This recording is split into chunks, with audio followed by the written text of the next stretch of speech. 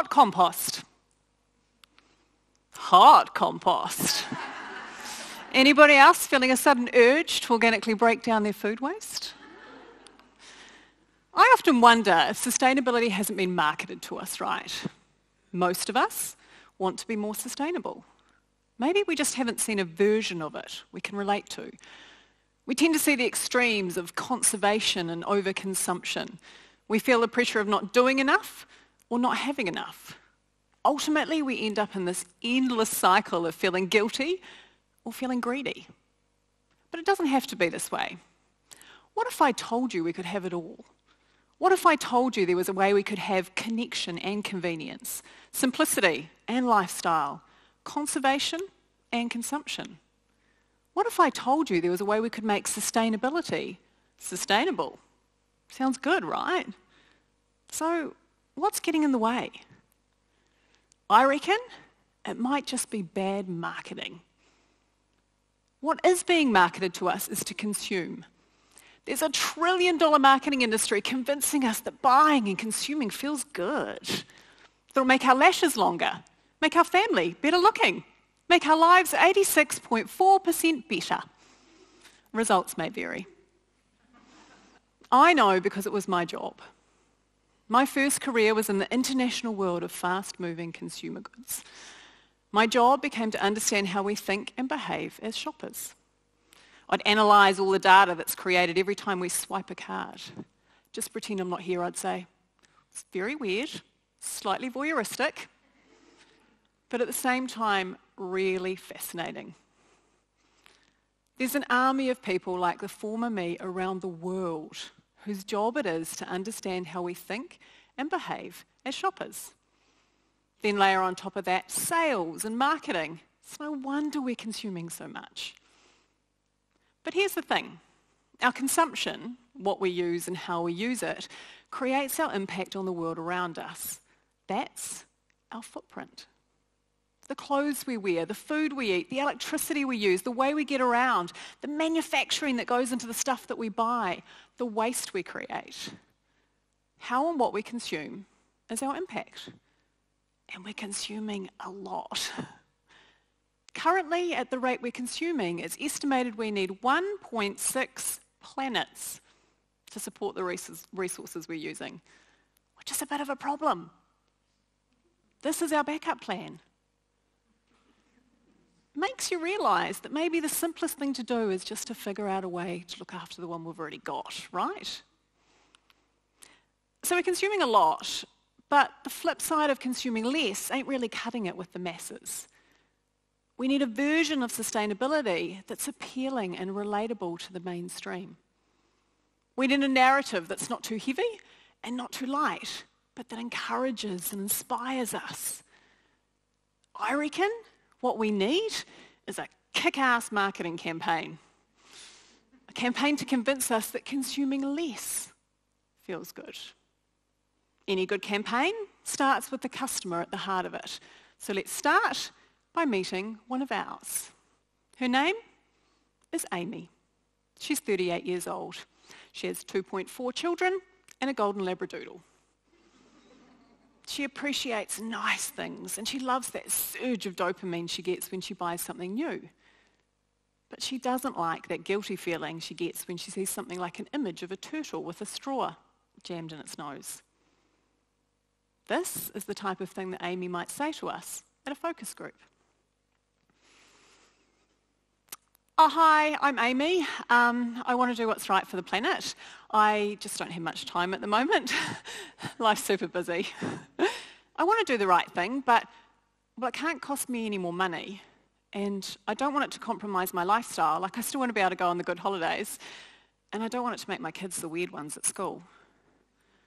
I'm, I'm happy to do the right thing, and it, it's kind of embarrassing to admit it, but it just has to fit in with my lifestyle.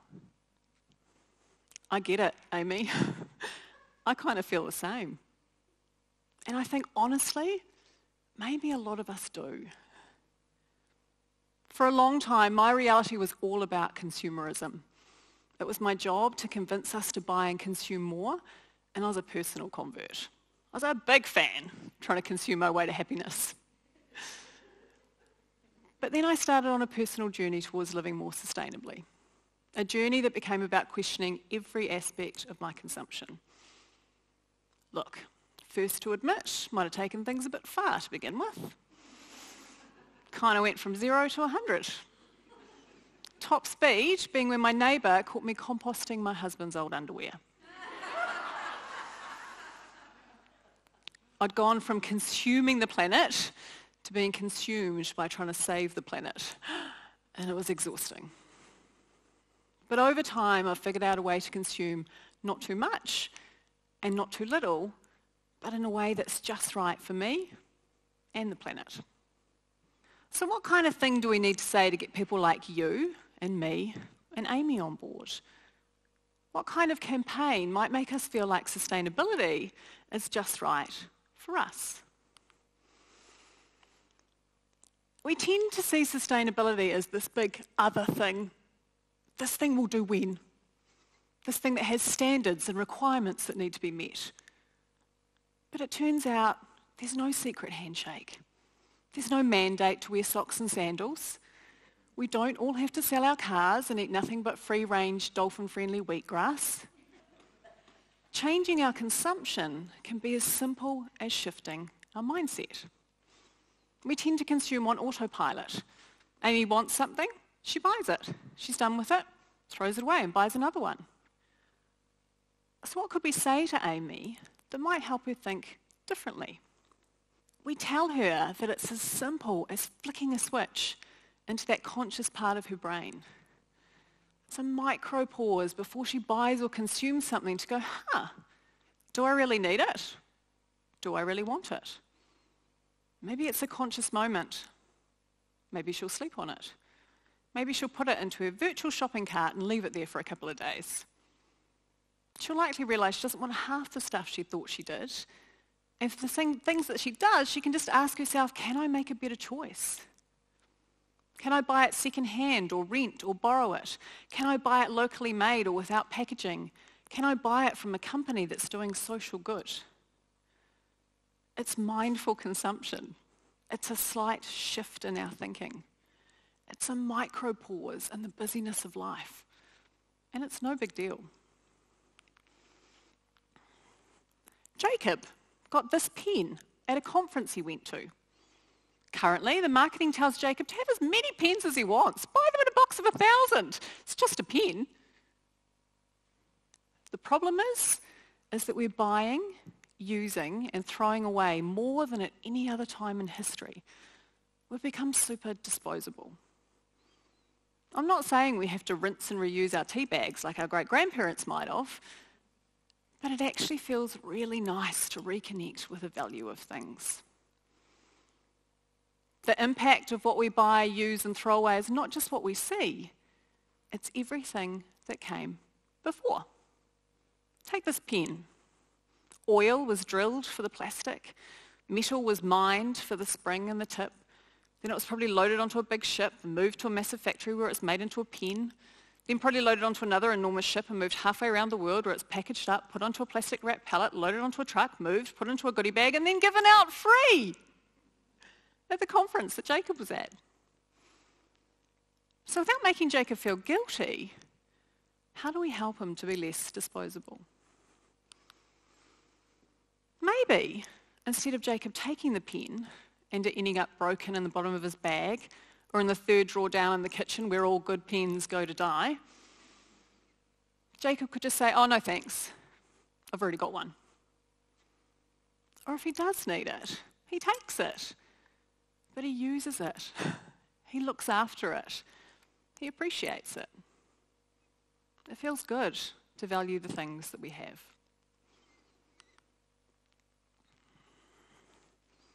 Grace knows all about the problem of garage creep. She moved into a new house and it had this brilliantly empty garage. But somehow, over time, stuff just crept in. Till it was so full of stuff, she couldn't fit her car in it anymore. Grace feels overwhelmed with the amount of stuff she has. The kids' toys, the clothes, the furniture, all the throw pillows. The more stuff we have, the more we have to look after and maintain, to tidy up and organise, to feel overwhelmed by, to spend all our money on. Grace is not a minimalist. She doesn't only want to own three Swiss Army knives, half a couch and one shoe. She doesn't need to fit her life into a backpack so she can travel the world. She's got children, garden furniture, a macrame hobby. So what could we say to Grace that might help her think that there's another way? Maybe Grace doesn't need to feel the pressure to upgrade to the 300 square metre house with four bathrooms, a portico, and a huge mortgage. Maybe she can unsubscribe from the constant marketing emails that make her feel pressured to continuously upgrade her home decor. Maybe Grace doesn't need a wardrobe that's so jammed full of stuff she feels overcome with decision fatigue every time she opens the door. Maybe she can have a wardrobe that's quarter of the size, only has things in there that she truly loves and will last for a really long time. Maybe it would help Grace to understand a concept called the spotlight effect, which means that we think people notice us, what we have and what we wear, way more than they actually do. Turns out we're all far too busy focusing on ourselves. maybe, just maybe, Grace could wear her favourite 10-year-old blue top over and over again, and no one would even notice. Having less makes life simpler. Rachel was convinced that she could buy her way to convenience. But in a weird twist of irony, she's just spending more of her busy life shopping to buy things to save her time. One survey found that females spend 399 hours and 46 minutes a year shopping. That's 10 working weeks of time. Now, Rachel doesn't have the time or the inclination to spend all her weekends at home crocheting Brussels sprouts or whittling her own clothes. So what could we say to Rachel that might help feel like there's an alternative? Imagine Rachel was faced with this. She's halfway through making a pie and she realises she's run out of those super convenient pre-frozen sheets of pastry. Every inch of her being wants to jump in her car and drive the four minutes each way to the supermarket to buy some more.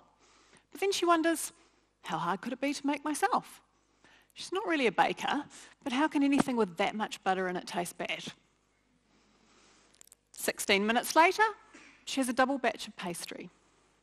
Time taken to drive to the supermarket and buy pastry, 24 minutes, 50% longer.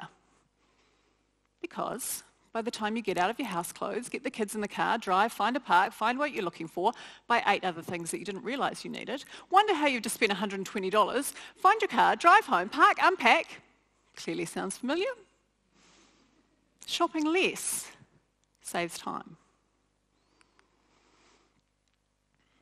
Three years ago, Marcus bought a bike. He'd seen it advertised in a European lifestyle magazine, and he had a romantic notion about saving the planet by riding his bike to work every day with his laptop, a French stick, and a bottle of wine in the basket. but you see, Marcus is what we would call a fair weather cyclist. he only likes to ride his bike if it's not too cold or too hot or too wet, or too windy. It all just got a bit hard. and Marcus feels guilty, but his bike's still in the garage. What could we say to Marcus that might help motivate him to start? We tell him not to let perfect get in the way of good. Maybe Marcus can ride his bike to work one day a week. Choose a day when the weather's good. Sounds way more achievable, right? Riding his bike to work one day a week is not perfect, but it is fundamentally better than not riding his bike at all. Imperfect action is still action. If we all focused on just doing a little bit better by the planet, Man, how awesome would that be? Will is just one person. And he feels like what he does won't make a difference for the enormity of the planet. He's waiting for science, big business, and the government to sort things out. And look, I am not saying they're off the hook. They need to be doing everything they can. But what could we say to Will that might make him feel that what he does can make a difference? Will's mum bought him a reusable coffee cup for Christmas. Will works in a large corporate office, and every day 10 of them will go out for their caffeine fix. Will takes his cup along. A few people in the group take the mick out of him for trying to save the whales. But within one week, three people in that group are using reusable coffee cups. Within three weeks, every single person in that group is using a reusable coffee cup. As humans, we are influenced by social norms. We look to those around us to inform our decisions and our behaviours. We are never one person taking one action. Change ripples out. It's what got us to where we are and it can help get us out. Look, I don't know if any of you guys have clicked on yet, but apart from the golden labradoodle and the macrame habit, all of these people are actually me. The campaign's a reflection of my journey to find a middle ground between the pressure of not having enough and the guilt of not doing enough. My journey to find a way to live more lightly on the planet in a way that works for me and my family. I've pretty much flipped and reversed everything I knew about consumption. I used to be about understanding shopper behaviour to get us to buy more. Now my job is to understand human behaviour to get us to consume less. I've learned that making people feel guilty doesn't motivate them to change. We pretty much all know that we need to be doing more for the planet. But we need to feel good about it. We need to surround ourselves with more of the narrative that encourages and motivates us. I went into this journey looking to decrease my impact. What I found was simplicity and time and a sense of connection. I love that my kids are growing up knowing how to value the things that they have, feeling like they're part of something way bigger than themselves, and that they know how to compost their own underwear. I'm not going to single-handedly halt climate change, but I've found a way to make a difference that works for me. And it feels really good. Slowing my consumption has been better for the well-being of the planet but it has been undeniably better for my own well-being. Turns out, we can have it all.